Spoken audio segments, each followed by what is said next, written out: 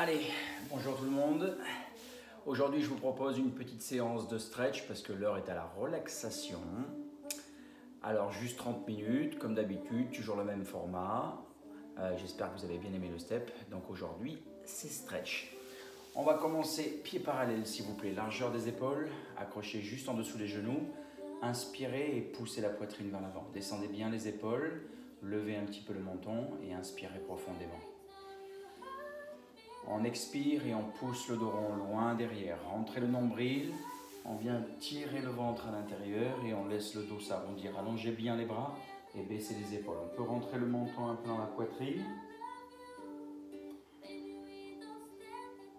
On inspire et on revient dos plat. Essayez de vraiment tirer au maximum vers l'arrière sans monter les épaules.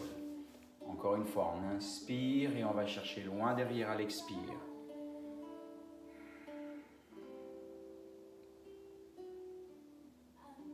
Inspirez, revenez dos plat, placez les mains derrière. Faites en sorte que les mains derrière vous permettent de vous grandir et non pas de vous projeter en arrière. Grandissez la poitrine, baissez bien vos épaules. Écartez un tout petit peu les pieds, largeur de vos épaules et on va laisser venir mobiliser les hanches. Laissez partir vers la droite. Puis ensuite vers la gauche, doucement, prenez du temps. Essayez de bien pousser la poitrine vers le ciel à chaque fois. Encore, on inspire. Et on expire dans le changement. Poussez la poitrine. Changez.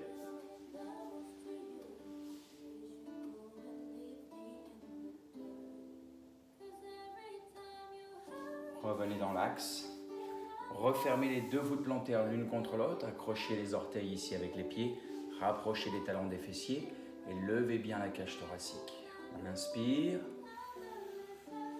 On expire et on contracte les fessiers pour ouvrir les genoux vers le sol.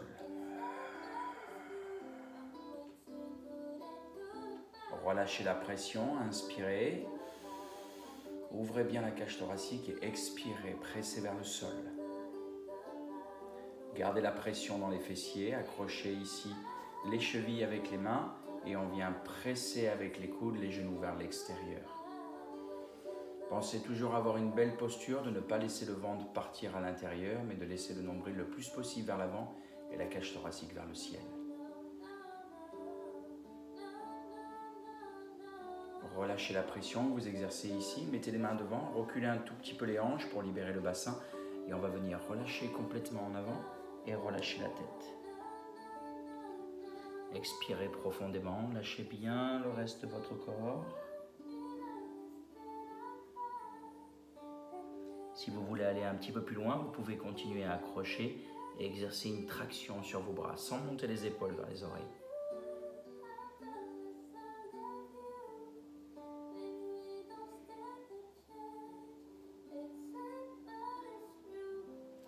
Déroulez votre dos, mobilisez la colonne vertébrale pour récupérer la verticalité de votre dos. Allongez votre jambe droite dans l'axe, le pied flex et le pied dans l'axe. Attention parce que le pied a tendance à venir vers l'extérieur. Gardez-le dans l'axe et placez votre pied gauche à l'intérieur de la cuisse. Grandissez la posture. On inspire. On va venir placer ici le coude droit à l'intérieur de la cuisse. Exercez une pression entre le coude et l'intérieur de cuisse. Positionnez la main, soit ici relâchée, soit accrochée ici en dessous. Prenez l'appui et essayez de pivoter vos épaules dans son ensemble. On va juste monter le coude vers le ciel. Vous pouvez garder le pouce en contact avec l'épaule. Regardez le ciel pour ouvrir la cage thoracique. On inspire. On expire et on vient chercher loin vers le plafond. Essayez d'avoir une belle extension du tronc. Une fois qu'on a cette belle ouverture, on va essayer de venir loin vers l'avant. Allongez le bras. Je vais passer le profil pour que vous puissiez bien voir. Une fois qu'on est accroché, on vient chercher loin devant. Si vous sentez que le bras ici passe à l'intérieur, essayez de privilégier la rotation de l'épaule avant d'aller chercher l'extension. Vous devriez sentir ça dans votre flanc. Et relâchez la nuque. Expirez profondément et basez vraiment tout le travail sur la respiration. C'est ce qui va vous permettre de bien vous détendre.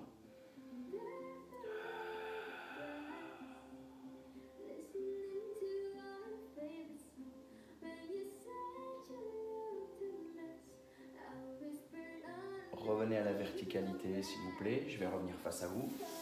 Une fois qu'on est revenu à la verticalité, qu'on a replacé le bras derrière, on va ramener le même bras ici à l'extérieur, accrocher la cheville, placer le bras droit derrière, relâcher complètement l'épaule et on vient tirer l'épaule en direction du genou. Relâchez la tête, regardez vers le fond de la salle et relâchez complètement. Essayez toujours d'avoir le nombril qui avance vers l'avant.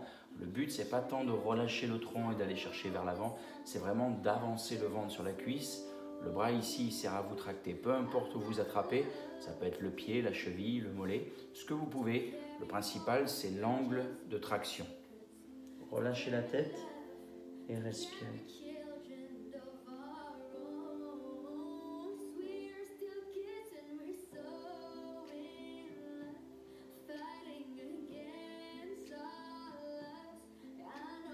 Ramenez votre bras droit par-dessus, accrochez ce que vous pouvez et continuez à tracter pour aller loin devant. Lâchez la tête et respirez calmement.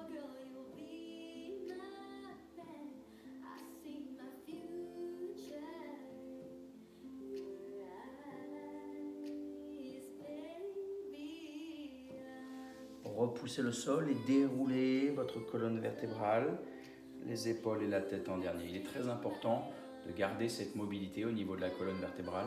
Essayez de ne pas vous redresser en partant de la tête, mais toujours partir du dos, de redresser pour garder cette mobilité toujours en axe. Fléchissez votre jambe droite et on vient placer la jambe droite derrière. Vous allez garder un angle droit ici entre votre cuisse et votre jambe. Même chose sur la jambe devant, un angle droit ici. Essayez de ne pas garder le talon collé à la hanche, essayez d'éloigner et gardez votre pied flex pour protéger votre genou. Mettez les mains de chaque côté, essayez de centrer vos épaules, toujours épaules basses, inspirez, on amène le nombril vers l'avant et on vient juste laisser un petit peu plonger. Lâchez la tête et respirez doucement.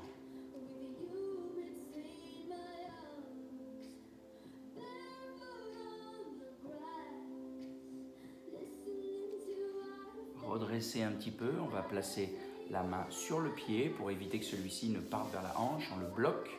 On prend appui un peu plus sur le bras gauche. On va transférer et venir allonger complètement la jambe droite tendue dans le prolongement. Je presse de profil pour que vous puissiez bien voir. Essayez de bien placer la hanche en direction ici du talon et on vient se retrouver avec cette jambe le plus possible perpendiculaire à l'axe de votre corps. On vient ensuite poser les coudes et essayez d'allonger complètement. Laissez le poids agir. En définitive, ce qui serait bien, c'est d'arriver à pousser un petit peu la fesse gauche en direction du sol. On se rapproche du sol, mais pas vraiment jusqu'à poser la fesse complètement. On s'en rapproche. Une fois qu'on sent que le poids est vers la fesse, on vient complètement refermer la hanche en direction du talon opposé. Une fois qu'on y est, on pousse les hanches en arrière et on allonge.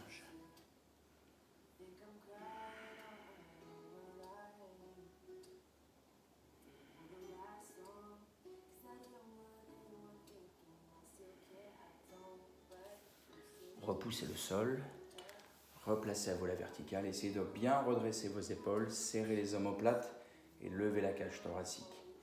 On va garder cette posture, on va centrer la main gauche pour pouvoir libérer le bras droit. Et avec le bras droit, on va venir essayer d'aller chercher la cheville droite derrière. On accroche et on tire le talon dans la fesse. Essayez toujours de garder la hanche proche du talon et le buste le plus face possible à votre jambe. Rentrez le ventre et pressez. Non seulement on doit aspirer le nombril vers l'intérieur et en même temps on vient tirer le talon pour augmenter la tension au niveau du quadriceps. Respirez. Alors si vous voulez aller un petit peu plus loin, vous pouvez replacer votre coude au sol, toujours en tirant fermement le talon, voire vous allonger complètement.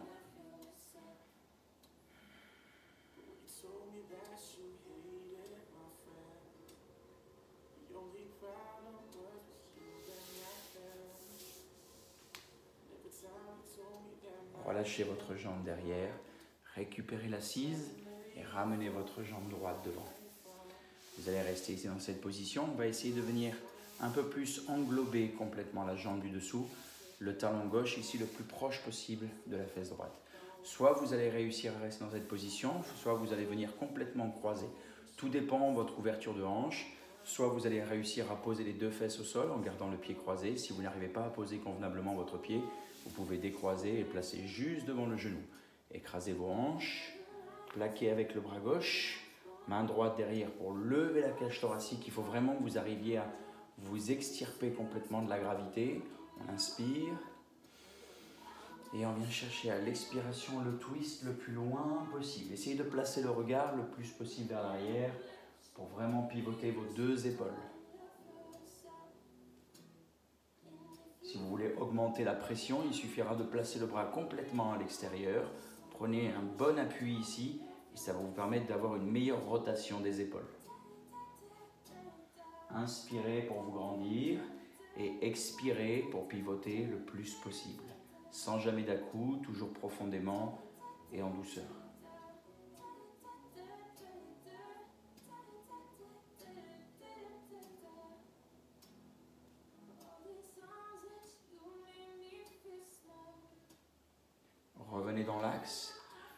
Soit vous étiez dans cette position, il va falloir décroiser, soit vous étiez avec moi et vous étiez déjà décroisé. Attrapez votre pied ici et laissez ouvrir un petit peu votre genou gauche vous avez trois possibilités. Soit vous arrivez à positionner ici votre cheville, pied flex, sur la cuisse et les genoux relativement au même niveau. Si vous sentez que c'est trop compliqué, vous pouvez placer le pied un peu plus sur le mollet, ce qui va permettre à la hanche de se développer davantage. Et si ça ne suffit pas, parce que vous n'avez pas assez de souplesse de hanche, vous pouvez vous mettre en tailleur, ça marchera très bien. Reculez bien vos fessiers pour sentir qu'on vient s'appuyer sur le sommet du bassin et on vient grandir quelques instants. Essayez de bien lâcher, on travaille toujours la posture au niveau du dos. Il est très important de remuscler le dos parce que c'est en majeure partie les problèmes de dos que vous avez, c'est à cause de votre musculature qui est complètement lâche. Il faut remettre un petit peu de tension dans les muscles de la colonne vertébrale, ce qui permet d'avoir une meilleure rééducation de votre dos. On inspire. Ouvrez les bras en croix, essayez de donner de la longueur, toujours très bas. Alors pour avoir les épaules qui descendent bien, il suffit d'essayer de chercher la longueur maximale entre les deux mains. On essaye d'éviter d'avoir les épaules qui montent, on allonge et on abaisse. On contracte le dos et on monte les bras vers le ciel, comme si on venait tenir un grand ballon ici. On inspire et c'est le ventre qui va venir en avant. Alors, si vous regardez bien, le but c'est vraiment de garder les bras loin et c'est votre ventre qui vient avancer. Il faut que votre bassin puisse rouler un petit peu en avant. Si ce n'est pas le cas, vous pouvez allonger un petit peu les jambes, reculer bien votre bassin en arrière. Le but c'est d'arriver à transférer le poids. On allonge, on essaye de relâcher un peu la nuque, de garder les épaules basses, on contracte toujours un petit peu son dos et on maintient la position. Expirez et laissez descendre encore un petit peu le ventre. Les mains restent loin du champ de vision sans monter les épaules. C'est ce qu'il y a de plus difficile, hein le contrôle au niveau du dos. On vient ensuite poser une main, puis l'autre. Et on va venir essayer d'avancer le nombril au maximum, d'avancer les bras. Vous pouvez même avoir la petite astuce de poser les coudes ici contre les tibias et de venir vous tracter pour avancer le ventre. Une fois qu'on est bien en position, on peut relâcher le reste du tronc. Faites juste en sorte que le nombril ici ne reparte pas en arrière, mais soit toujours projeté vers l'avant, que ce soit avec l'action des coudes ou simplement avec la gravité en fonction de la souplesse. On essaye toujours d'aller chercher loin vers l'avant. Décontractez-vous et respirez quelques secondes. Lâchez bien vos hanches, ne mettez plus aucune tension dans vos jambes, laissez agir le poids.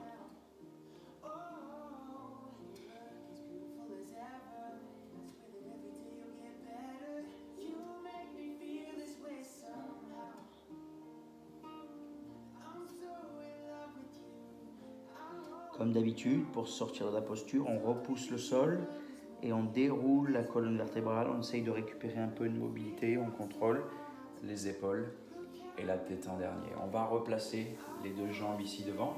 On va allonger un peu les jambes et décontracter un peu les articulations. Il n'y a pas besoin de faire beaucoup de mouvements. On laisse juste venir un peu en rotation ou en rebond. Le but, c'est de relâcher les muscles un peu de l'arrière de cuisse et des rotateurs. On replace les deux pieds à plat, on inspire et on revient à la position initiale. On grandit, on projette la poitrine, on renforce les muscles du dos ici et on garde les épaules très basses. On inspire profondément. On expire et on pousse le dos rond loin derrière. Laissez le ventre rentrer en dedans, lâchez les épaules, allongez vos bras et lâchez le menton.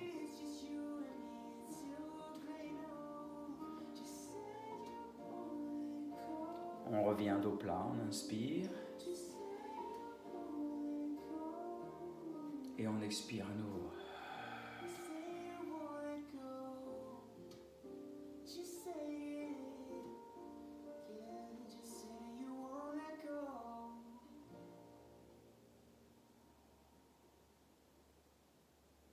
Revenez dos plat, grandissez. Placez les mains derrière, encore une fois. On va laisser venir les genoux d'un côté. Cette fois-ci, on va rester dans cette position. Je vous propose, on prend bien appui sur le bras arrière. On va soulever la hanche, pousser le bassin le plus possible à l'avant et monter le bras gauche le plus loin possible en spirale. Plus vous poussez la hanche vers l'avant et plus vous tirez le bras derrière.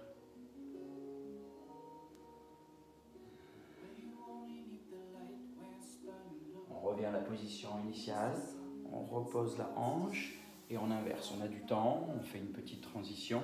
Surtout ne posez pas le genou par-dessus pour avoir un maximum d'ouverture dans le bassin.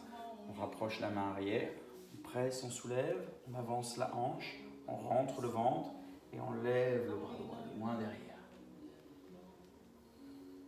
Poussez bien la hanche vers l'avant. Tout le travail réside dans la contraction des fessiers et dans l'ouverture du tronc.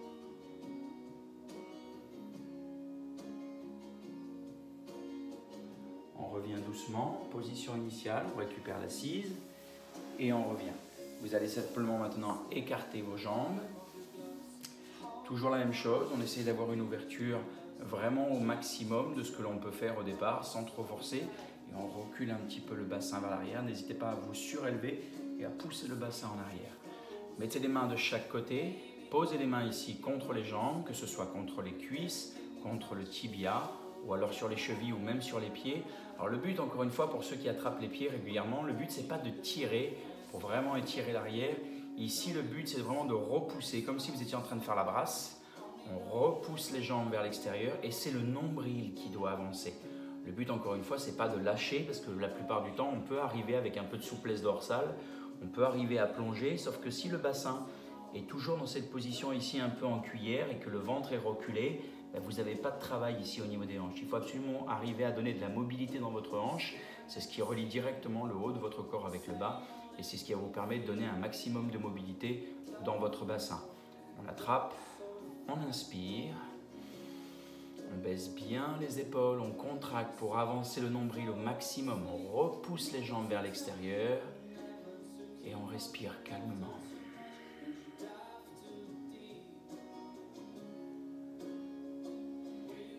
Qu'on y est, on place les mains devant, mais toujours le même principe, on essaye d'agripper un peu le sol et de tirer le ventre. C'est toujours le ventre qui doit avancer, c'est le bassin qui bascule, ce n'est pas le tronc qui plonge tout de suite.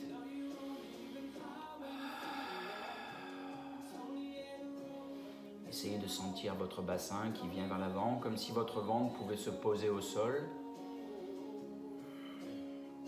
On grappille du terrain pour donner un peu plus de poids on augmente ce que l'on appelle le bras de levier. Plus vous éloignez ici vos mains, si je soulève les mains, ça va devenir très très lourd et vous allez avoir une grosse sensation de traction ici au niveau de l'intérieur de cuisse.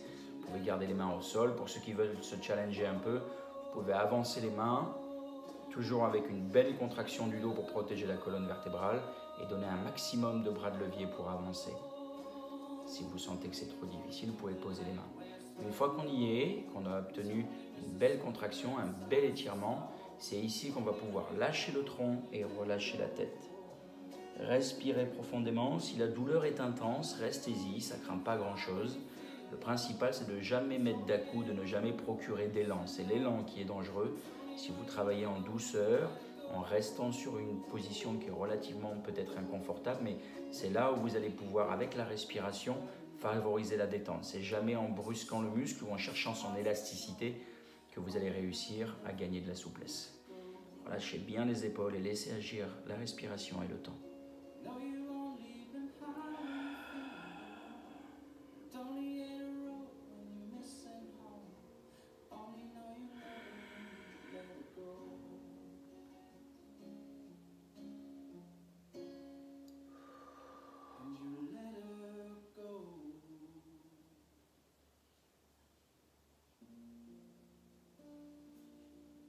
Repousser le sol, toujours le même travail. On déroule, on rentre le ventre, on serre et on déroule vertèbre après vertèbre les épaules et la tête en dernier. On fléchit un peu et on aide les jambes à se refermer. On revient à la position initiale où cette fois-ci on va allonger la jambe gauche et le pied droit contre la cuisse. Reculez bien vos hanches et mettez bien vos hanches dans l'axe de votre jambe. On place le bras gauche à l'intérieur de la cuisse. Prenez un petit appui entre le coude pour pouvoir pivoter les épaules en appuyant fermement. Accrochez soit en dessous, soit on vient juste poser la main contre, ça marche très bien. Essayez maintenant de pousser pour avoir un pivot. On peut placer le pouce ici sur l'épaule, ça permet de visualiser la rotation. Encore une fois, le gros du travail ne vient pas de ce bras-là, mais il vient de la pousser dans l'épaule pour avoir une belle rotation. On inspire. On peut regarder le plafond et on allonge le bras, chercher la verticalité. Inspirez.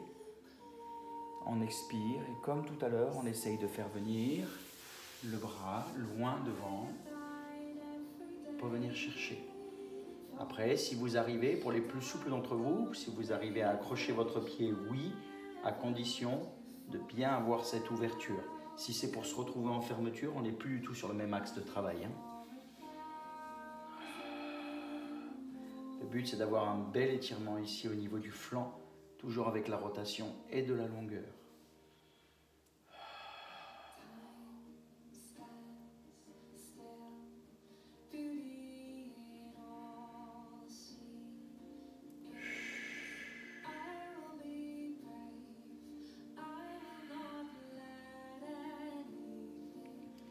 repoussez, grandissez, contractez un peu votre dos pour vous replacer. Je reviens face à vous. Encore une fois, le bras, vous venez de le replacer. Soit maintenant, vous le placez à l'extérieur de la cheville, du pied, du mollet ou même juste de la cuisse. On place le bras derrière. On peut exercer une petite poussée avec la main derrière pour aider le tronc à venir. On inspire, on expire et on vient mettre le tronc légèrement en torsion. Cette fois-ci, on tracte l'épaule en direction du genou.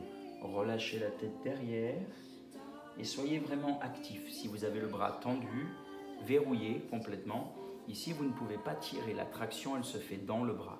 C'est le bras qui va venir amener l'épaule et donner cette rotation des épaules.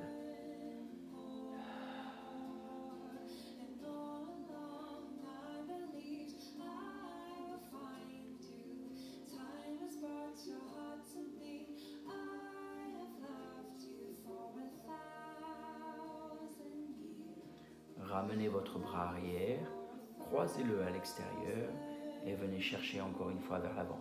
On tire toujours le nombril pour que le ventre avance sur la cuisse. On essaye d'amener de la longueur toujours. Plus vous cherchez à plonger, et si votre ventre recule, c'est contre-productif, il ne se passera pas grand-chose. Le but, encore une fois, c'est d'amener le ventre, d'amener le bassin en avant et de se tracter. Relâchez vos épaules, relâchez la tête.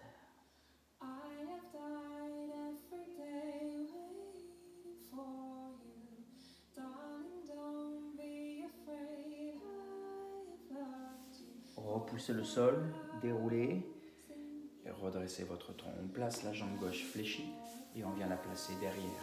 Comme tout à l'heure, on gardera la jambe fléchie à 90 degrés ici et 90 degrés devant. Placez les mains de chaque côté, essayez de centrer votre corps. On inspire, le ventre avance, le tronc avance et on relâche progressivement. Alors on n'essaye pas d'aller trop bas dans cette position parce que ce n'est pas le but. C'est la deuxième position qui nous permettra d'aller un petit peu plus loin.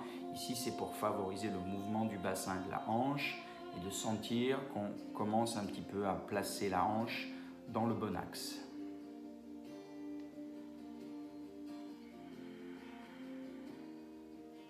On repousse un petit peu, on vient placer le pied et on vient transférer le poids du corps en avant. Placer complètement la hanche au maximum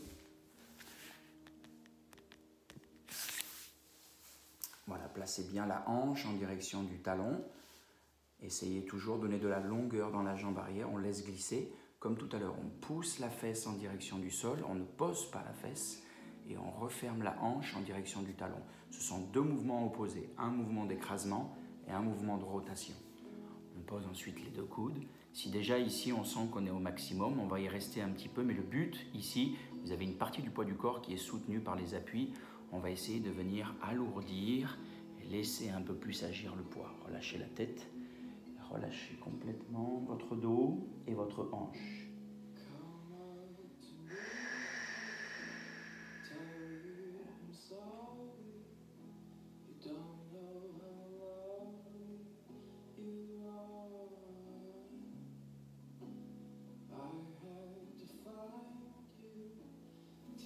Repoussez le sol, on déroule, on grandit la posture. On essaie d'avoir une belle posture ici. On travaille un petit peu les fixateurs d'omoplate et les lombaires. Placez la main droite centrée pour pouvoir libérer la main gauche. Main gauche qui va venir accrocher la cheville gauche derrière. Je vais transférer encore une fois sur l'extérieur. On accroche et on tire. Basculez votre bassin, rentrez le ventre, poussez le bassin en avant et en même temps on vient tirer le talon dans la fesse. Laissez bien glisser le genou vers l'arrière et faites en sorte que le talon ici ne s'enfuit pas sous la hanche et reste le plus possible en devant puisque c'est la hanche qui vient rechercher le talon. N'hésitez pas encore une fois, si vous voulez aller plus loin, reposez le coude ou allonger complètement ou alors restez avec moi dans cette position. Soyez actif hein, sur la jambe, pareil. Si vous avez le bras tendu, vous attendez que ça se passe, il ne se passera pas grand-chose. Toujours, on reste actif dans ce que l'on est en train de faire.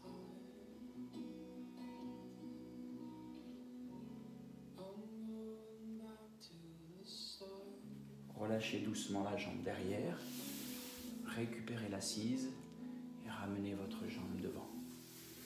Même jambe, ici, on va venir envelopper un petit peu plus avec le pied droit pour vous lever davantage. Deux possibilités, comme tout à l'heure, soit la cheville croisée complètement par-dessus, à condition de pouvoir poser la fesse. Ici, comme vous pouvez le constater, je n'ai pas forcément la souplesse ici pour pouvoir poser la hanche convenablement, donc je vais garder le talon juste devant. Main droite pour venir plaquer. Avant de tourner les épaules, on cède un petit peu avec la main pour venir se grandir. On allonge, on inspire, sans monter les épaules toujours. Et à l'expiration, on va venir twister les épaules le maximum et on regarde vers le fond. Comme tout à l'heure, petite option pour ceux qui veulent aller plus loin, on vient placer le bras, c'est beaucoup plus de force ça vous permet d'aller plus loin dans le twist.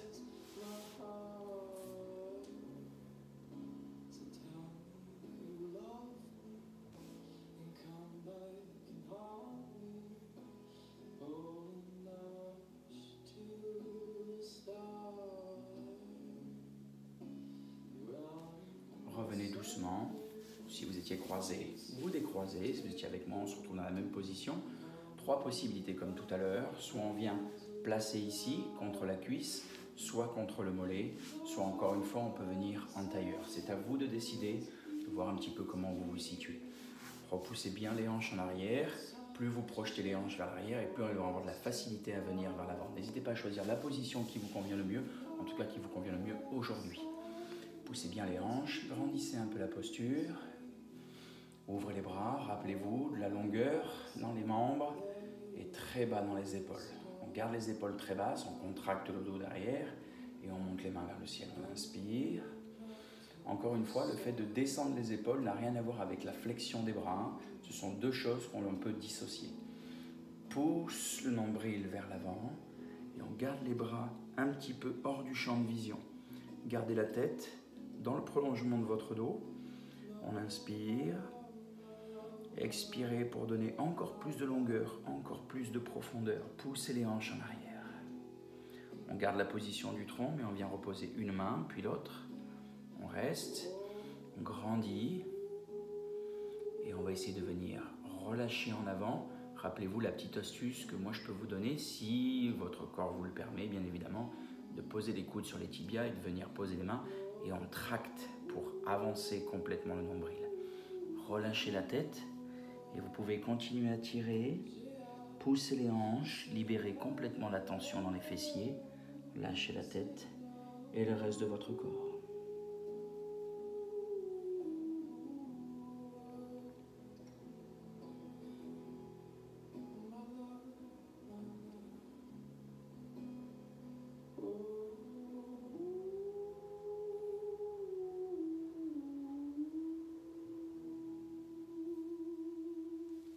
Repoussez le sol, déroulez la colonne, replacez vos épaules et replacez votre tête. Vous pouvez décroiser vos jambes, replacez devant et relâchez. N'hésitez pas à finir cette petite séance de stretching par un peu de relaxation. Vous pouvez très bien vous allonger, vous mettre un petit peu de musique. Ici, le but, c'est vraiment de revenir à une activité tranquille. Si derrière, vous aviez prévu un footing, je vous le conseille pas. Alors, footing, bien évidemment, à l'intérieur. hein. C'est du footing indoor. Vous mettez de l'huile d'olive par terre. Avec deux patins, ça marche très bien. Voilà, j'espère que cette petite séance de relax euh, stretching vous a plu. N'hésitez pas si vous avez des desiderata, si vous avez des envies. Moi, je suis là pour vous, j'ai du temps. Je suis entièrement pour vous. Voilà, je vous fais des bisous. Amusez-vous bien. Et puis, on se retrouve sur une prochaine vidéo. En attendant, prenez soin de vous et on reste à la maison. Ciao, ciao.